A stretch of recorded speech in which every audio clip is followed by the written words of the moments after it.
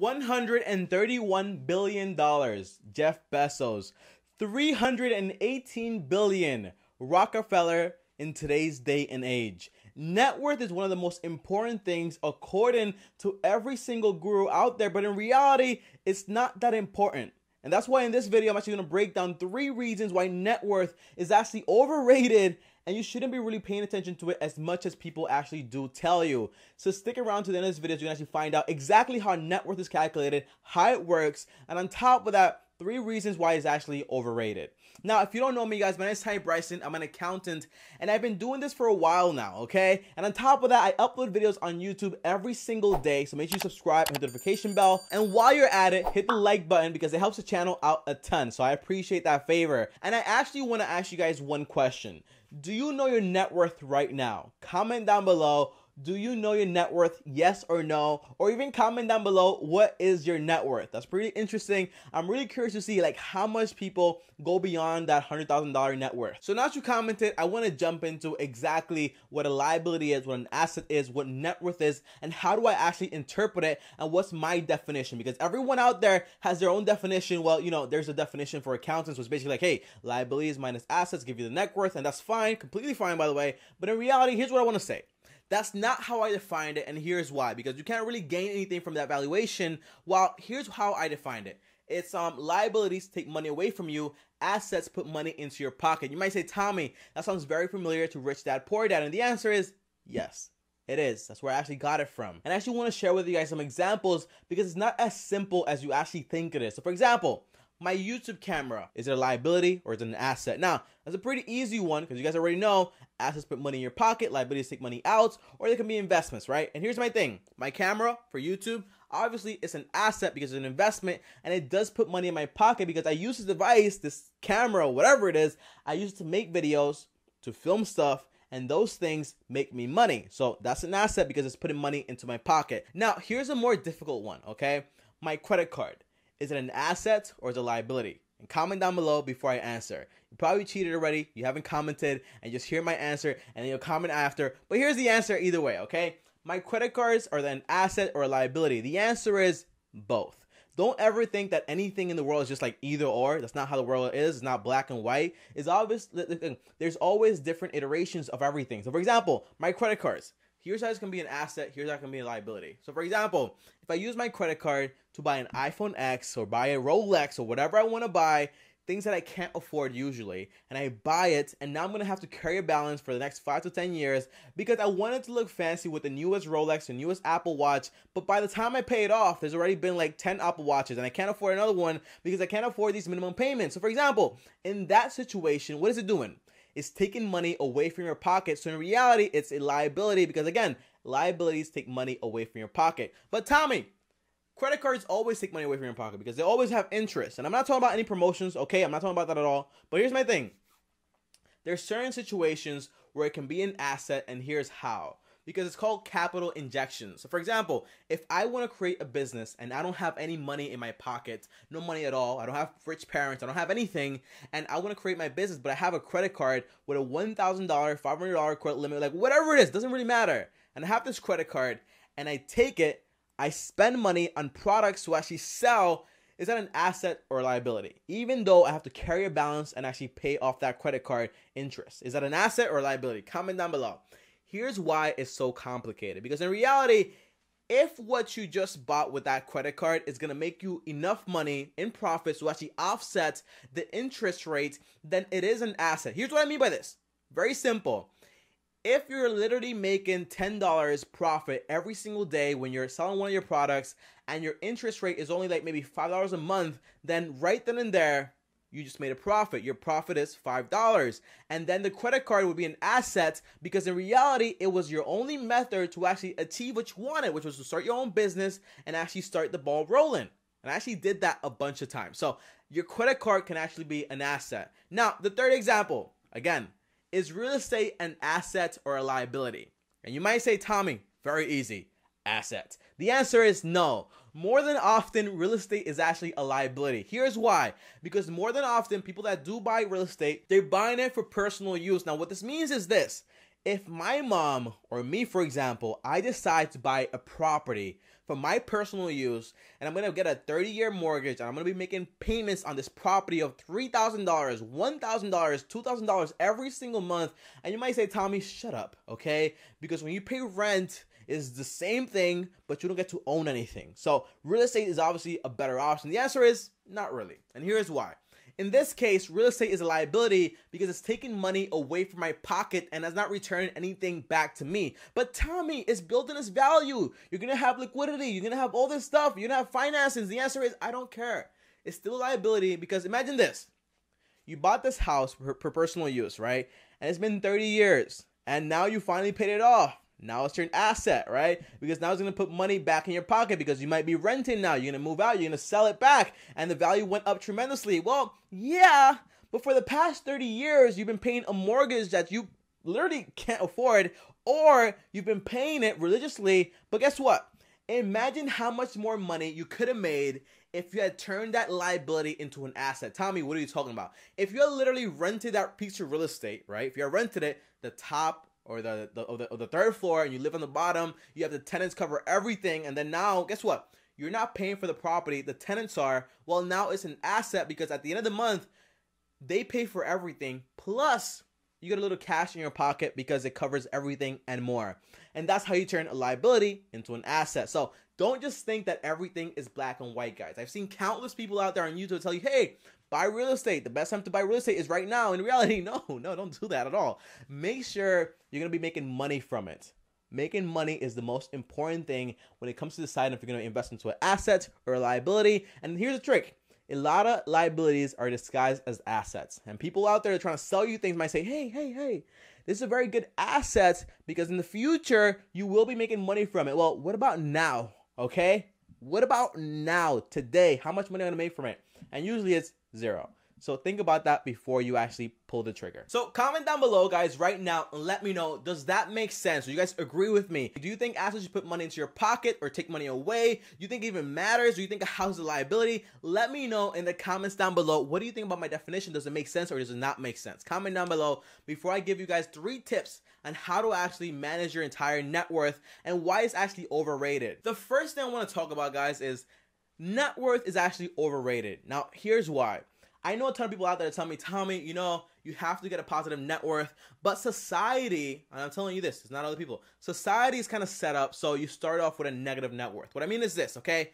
When you graduate from high school, you probably don't have a job. More than often, people don't have jobs when they graduate from high school, and now they're in college, accumulating student loan debt, and they often don't have loans and they can't cover all the prices and all the costs of college. So by the time you graduate from college, you're already starting out life on a negative net worth. Now, what does this mean? Does it mean that you're screwed? Does it mean that you're F? What does this mean, right? Here's my thing. It doesn't mean any of that stuff. And I'm gonna tell you guys a short story right now. In my college days, by the way, I was in college when I was 17 years old, and I instantly started working as soon as I got there. And I managed to save around a little bit over $10,000. So theoretically, I could have graduated with zero student loan debt because I could have paid everything because I only owed around ten to thirteen thousand dollars in student loan debt, which on average is very good, right? Because the average is like thirty-seven thousand. But here's my thing: I said, well, if I take this money and I pay my student loan debt, yes, my net worth will be positive, but I won't have the opportunity to actually start my own business. And at this time, I want to start a YouTube business. I want to start a, a lot of businesses out there, and I actually started them. And here's my thing, guys. I actually graduated instead with ten thousand dollars in student loan debt. I actually graduated with over twenty one thousand dollars in student loan debt. You might say, Tommy, how do you do that? Doesn't make any sense. The answer is this: I took a loan from my school, like a student loan, like whatever loan it is, right? I took that loan for seven thousand dollars. If the math doesn't add up, don't worry about it. It's because it's a little bit more over, okay? And here's my thing. I took seven thousand dollars, and then with my plus my ten thousand dollars, I put them together. That was seventeen thousand dollars, like a little bit over, you know. And I took that money and I invested in it. I flipped it. I made a ton of money from it. And if it wasn't for that one investment, I wouldn't be here right now. And guess what? My net worth was negative for like the past three to four years. And if I had worried about, hey, oh my gosh, my net worth is where is like messed up. I just want to like spend my money on this. The answer is I would have screwed up. I would have never gotten here because guess what? Net worth is overrated because it's just a number. It all depends what's going into that number. If it says like, hey, you know, he has this debt, yes, but he's making a ton of money over here. That's what's really important. Number two, how do you grow your net worth? And this is a very simple answer, but it's very complex because you might think, well, Tommy, the way to actually grow your net worth is by acquiring more and more assets, right? Makes sense. And then lowering your liabilities, right? Sounds good. But in reality, no. That's not how I would do it, and it doesn't make sense. By the way, guys, remember, I'm an accountant, so I know what I'm talking about. I'm not making any of this stuff up. Usually, when you read a book, they tell you, like, hey, there's good debt, bad debt, just stay away from all debt whatsoever, and just like focus on building assets. That's great, but that's a very long path, and here's why. Because more than often, it's gonna take you a very long time because your job doesn't pay you enough money. So here's my thing How do you grow your net worth? And the answer is focus on making more money and acquiring more assets at the same time. But this does not mean just focus on big spending to get assets that pay you minimal, minimal, minimal, minimal returns. So, for example, if you invest into real estate, we all know this by the way, on average, you're gonna get between 0.5% to 1% on the value of the property in rent every single month. Now it's a very slow return because on average you're only getting back like maybe 7% and after all the costs it has to do with the entire property, it might only be between like 3 to 5% or something like that, okay? The stock market same thing, 7%, 10%. But if you actually focus on growing your streams of income by flipping properties or like by buying, well not pro I don't I don't really flip properties. That's a very different thing, but by flipping your money and making more money like starting e-commerce websites, like focus on things that make your money grow expeditiously because the only way to actually do that is by actually starting a business and guess guess what guys safe investments like the stock market well that's not even safe okay but if you invest in the SP 500 which is pretty much safe you know that's going to take you a long time to grow your money. Same thing with real estate, same thing with all those things. But the only investment that can actually grow your money expeditiously is by selling things and selling products and starting a business. Imagine this I make around 53% of my money every single year. And that's a very low estimate. On average, I double my money triple my money every single year. And sorry about that. And every single year, so it's been doubling. And if I put my money in the stock market, it would have never worked. If I put my money anywhere else but into my businesses, it would have never worked. Number three, how do I set goals to actually increase my net worth? Remember in the beginning when I told you guys Jeff Bezos, 139 billion, um, Rockefeller, 318 billion. Here's the thing, guys.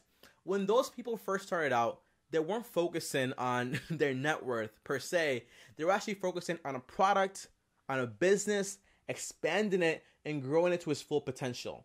And guess what? When you focus on this, your net worth is bound to grow because you're gonna make more money, you're gonna provide more value to more people out there, and you will keep growing immensely. But you might say, Tommy, that's not really my goal. I don't want to own a business. I don't want to do that. That's too much work. Like businesses fail. I get that. I get that a lot. Okay, I understand. But if you want to, if you don't want to do that, there's a way to do it. Okay, you go the slow way. You get that job that's 60k a year, 80k, 100k, whatever it is, and you start working from there. You start buying assets, building businesses, side jobs, side hustles, you know, and that's how you get started. But you have to. Here's my thing if you're not willing to sacrifice anything, you won't achieve anything. And when you talk about Jeff Bezos, when you talk about Rockefeller, when you talk about Bill Gates, Warren, all these people made immense sacrifices, but it was never about net worth. It was about providing more value, making more money. And by the way, guys, I love money, but I only like it because it shows me my progress. I don't love money itself, but I do love what it does for me, which is provide freedom for me. So just make sure you're not following the money but you're following the thing that's gonna make you the money, okay? Because money isn't gonna come.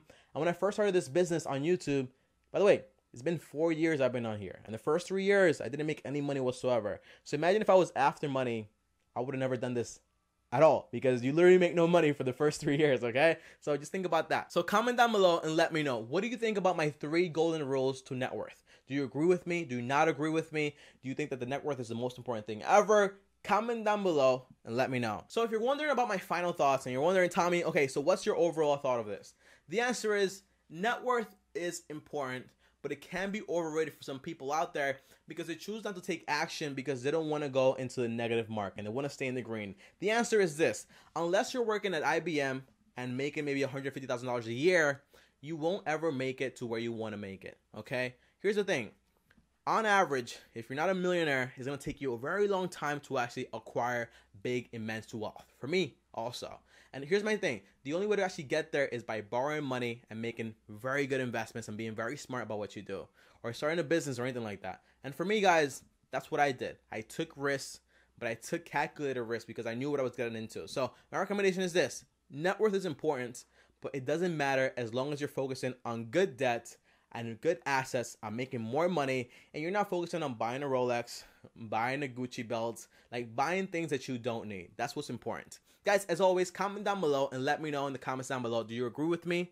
Do you not agree with me? Are you gonna start tracking your net worth? By the way, I track my net worth every single week, so don't think that I don't pay attention to this stuff because it's very important. Also, so comment down below, let me know. Are you gonna start tracking your net worth or not? And as always, guys, thank you for watching the video. If you liked it, leave a big thumbs up. It helps the channel out a lot, a ton, and I really appreciate when you guys do like the videos because it keeps the channel growing and growing and growing. As always, if you want to see me and you want to keep watching these videos, subscribe and also turn on notifications to get notified every single time I upload a video. And if you want to talk to me one on one uno uno. Just DM me on Instagram at Tommy Bryson. I reply to all my DMs 100% of the time. Ask anyone on the channel, okay? I reply. I'm always there because I know sometimes you guys want to ask me a question, but you don't want to comment down below because it's kind of private. Just DM me there, fully private, and I can answer you there. And if you want to support the channel and you got some cash on you, buy one of these t-shirts. I have them on the tags and I also have them in the description down below. I'll see you guys next time on this video. Thanks for watching and peace.